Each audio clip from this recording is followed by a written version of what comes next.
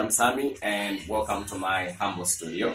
Uh, this is a home studio. Uh, it's situated in Harare, Zimbabwe. Uh, I'm going to be showing you works that I did way before and works that I'm currently working on. Uh, the, convers- the conversations presented uh, in these works uh, and they're just talking about you know healing and, and restoration.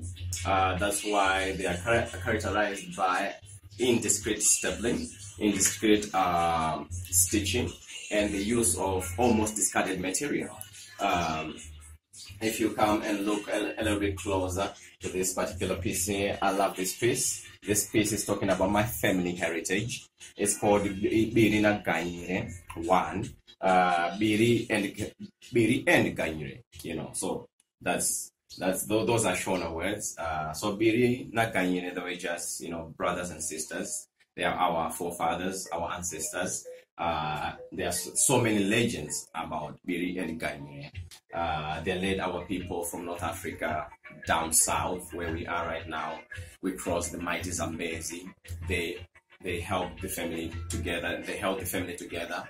Uh, that's why on this piece I used, you know, burlap and canvas and other various materials in here. Uh, there's stitching, the stitching, there's stitching right there, and I'm mostly I'm I'm using red thread. Maybe that's that's just because I just see it uh, as the return to innocence, you know. Uh, since my work is dealing with restoration, there is a lot to be restored uh, in human, in humanity, uh, society, uh, people as individuals, you know.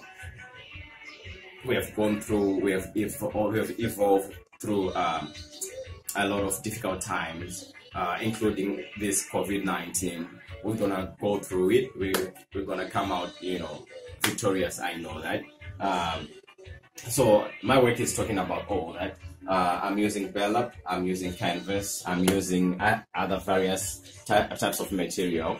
Uh, this burlap that I use, I use uh, used burlap. Uh, as you can see, it's got holes in it. It's got it's got some stitches in it. Uh, prior to me using it, uh, and I, I, use it as it is, as I found it, uh, just because on its own, this material is just is just telling me stories. It's telling stories of its own. Uh, that's that's why I use it as it is. Um, so there's the stitching is is incorporated is always incorporated incorporated in my work. Uh, I'm using oils. I'm using acrylics. I'm using ink as well. Um, so um, I just want to show you what I'm currently working on at the moment.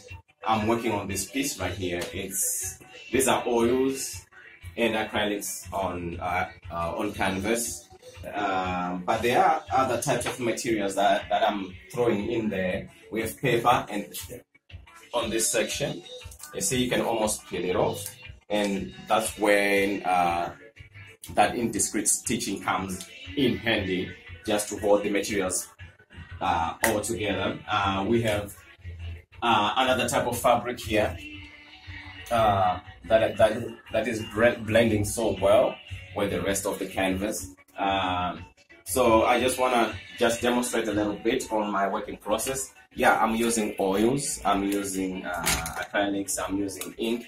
Uh, these bottles, these, these tins here, they have, now this is the ink that I'm using. Um, so sometimes I, I just uh, make my, my paint or my oils liquid, very liquid or semi-liquid, uh, just depending on what, what I want to do with it. So when it's liquid, liquid, I throw it whilst the painting is on the wall. I throw it like that. Uh, that's why you're seeing all these spots here. These are splashes that were happening. You know, all the walls are a mess as you can see, uh, even the floors. Uh, so yeah, it's a studio. What can we do? And then uh, I want to show you. Yeah, I've got sketchbooks as well. So this is how how my paintings start. Uh, you know, like that. Yeah, abstract artists they have sketchbooks too. you know, uh, all these sketches. So this is how they start and maybe manifest into masterpiece, masterpieces and all. Right. I want to talk. I want to talk a little bit about this sketchbook. Uh, I've got three pages remaining. Why? Because I just transform. I transformed this whole sketchbook into a series of paintings that I want to call. I um. Uh, I call this series uh, "Skeletons of My Diary." Uh, so this is what came out. Um, I, I just ripped off uh, all the pages and you can see the page it goes from here up to here. The page is in there and then I just incorporated other other techniques of collaging uh, and, and, and, and printmaking in there. There's a print that's in this painting and then oils and then oil pastels so basically my sketchbook is my diary so I, I, I got this name out of that. My skeletons, skeletons of my diary. So yeah, enough about that. Uh, I just want to show you um, uh, what I've been working on uh, since lockdown in Zimbabwe. Uh, I developed a series called uh, the Zimundiringe, uh, this is a series uh, with conversations, conversations between oneself and uh, their ancestors in a quest to you know seek protection, guidance during these very difficult times that we are living in. So they started out as prints, and then later on developed to a series of paintings. You know, uh, my prints I never clean as, as, as such. They started like this. You see, this is a print there's a print so it moved from this to that. That's how the concept went. So one thing that I've discovered in my working process is uh, the moment I'm working on this particular piece, it just paves way for the next painting, for the next piece. Uh, whatever I'm doing right now is going to develop into something maybe a little more, more diff- different, different, but uh, more mature much better, more complex. Though the conversations might be the same, but the way I'm doing it, the, the, my, my working process is always evolving, just like that. So this this is the whole bunch of the Zimundilinge series. Uh, this is this is still a work in progress. Uh, uh, I'm using red thread as well, the returning to innocence. So I'm still stitching on this one. Uh, I don't know how it's gonna come out. I don't. I, I never know how a painting is gonna come out until until I'm satisfied. No, this this painting is done. Then I move on. Um, I move on to the next one. So I, I'm always surprising myself as well. That's the funny thing about this uh, this type of you know work. So you see this one. This one. I think this one is done. But then the print is is still coming. It's still vivid and I think I'm gonna leave it like this. So I'm always coming back to my earlier project and just see is this is this where my work is, is this what I want with my work? Is this is it has it reached the, the, the level of perfection that I want? So it's either I'm I'm adding or I'm subtracting something. And this one, yes, it's still it's still in, in, in, in, the stages of production. I'm still working on that. But most of them, they are finished. They are ready to be exhibited, man. And yeah, and and these ones as well. It's from the same series. From the same series. I think I have more than 90 works, or close to 100, I think, um, of these works. So as you can see, I'm using uh, different types of materials. This these works are on paper, and th and then I have some kind of fabric here, uh, hand stitched and machine stitched as well. And these are giving me me uh, the texture that I want.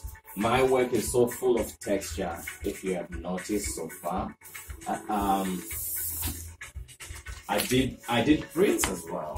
Now, this print, this this print, this prints were highly influenced by the coronavirus itself. You know, when we when we started hearing about the coronavirus, we were I mean, everybody was so confused. How how is it spread? How how do we you know protect ourselves? How so it was sort of a, a, a confusing era, and I had to do these paintings. Eh, as you can see, these faces, this portrait, these portraits are more like spitting something or something's coming out of them.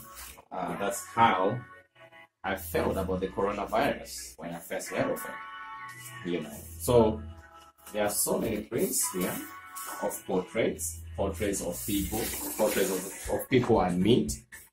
You see, they are very colorful as well.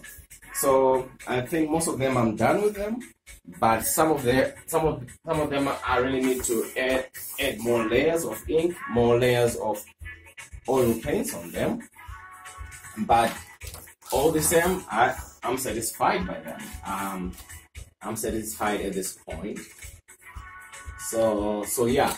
So basically, this is how my studio looks like. I've got other uh, stacks of small small paintings made out of you know scraps from the from the studio. I don't throw away anything. Uh, these are pieces of you know canvases, pieces of vellum, uh, of course from bigger projects worked on earlier, and, and yeah, this is uh, this is, this is also my favorite piece. Um, it's got different kinds of canvases in there. This is another type of canvas here, another kind of canvas here, forming all this wonderful texture. Uh, we've got another piece of canvas here, and this whole canvas is different from all these pieces on top. So that's how my working process begins and uh, and ends. Uh, if you can see uh, these little babies, I, I love this series. It doesn't have a name yet, but I'm gonna name it. I don't know what, what I'm gonna name it, but there's also that indiscreet stitching, indiscreet stapling, and I just want to show you uh, another series, another series that I did way before. It's called the Chido Passion, the Chido Passion series. Uh, it's done on paper, mounted onto this, you know, uh, wooden board. Um, I'm, I'm, incorporating all the techniques that I've shown you before. Uh, machine, uh, machine stitching, hand stitching, uh, oil pastels, oils, and a little bit of ink. Uh, so there are there, there are about six paintings in this series. Six paintings in this series, whereby I'm using burlap as well, oil paints. Uh, I'm using uh, um, scraps from from my friend from my friend down the street who is a tailor.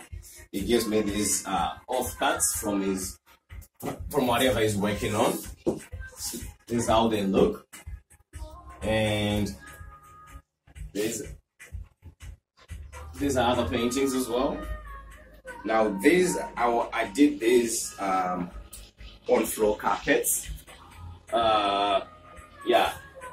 So sometimes I, I, I have, I have to cut the material or the surface that I'm working on, then try to rejoin it as well.